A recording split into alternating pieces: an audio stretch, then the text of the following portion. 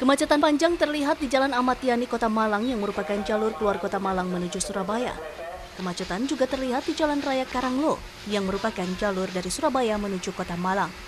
Kemacetan terjadi akibat aksi unjuk rasa yang dilakukan supporter klub Arema Kronus yang memblokir pertigaan Karanglo selama dua jam. Akibatnya pengguna jalan yang hendak masuk menuju Kota Malang maupun keluar Kota Malang berhenti total. Penumpang bus akhirnya memilih berjalan kaki. Satu jam. Dampaknya gimana Pak? Ya, jamnya nggak nutut mas. Jamnya nggak nutut. Aman. Kerugiannya gimana Pak? Ya bisa bisa waktunya bisa 3 pp, nggak bisa 3 pp. Unjuk rasa berakhir setelah supporter memilih melanjutkan aksi dengan konvoi menuju kota Batu. Aksi ini merupakan buntut tak lolosnya Arema Kronus dalam verifikasi yang dilakukan oleh Bopi. Keputusan Menpora memberi sanksi pembekuan PSSI berdampak pada berhentinya Liga Super Indonesia. Menyikapi keputusan Menpora, ratusan bonek dan pemain Persebaya Surabaya minggu sore menggelar unjuk rasa dengan bermain bola di Jalan Raya Darmo, Surabaya.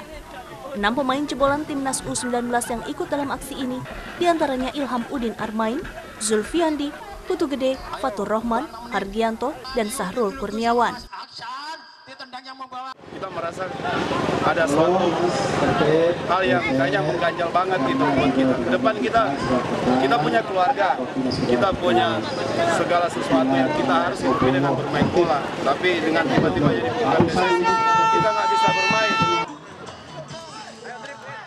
Pembekuan kegiatan PSSI ikut membuat Liga Super Indonesia terhenti. Menpora telah mengirimkan surat kepada Mabes Polri untuk mencabut izin keramaian dan pertandingan sepak bola Liga Super Indonesia di seluruh Indonesia.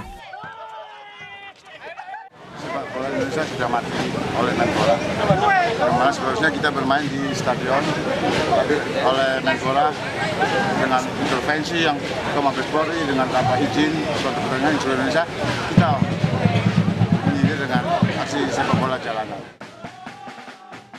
Menpora Imam Nahrawi pada 18 April lalu menandatangani surat keputusan pembekuan seluruh kegiatan PSSI. Selain membekukan PSSI, Menpora juga melarang pertandingan kompetisi lainnya di bawah PSSI.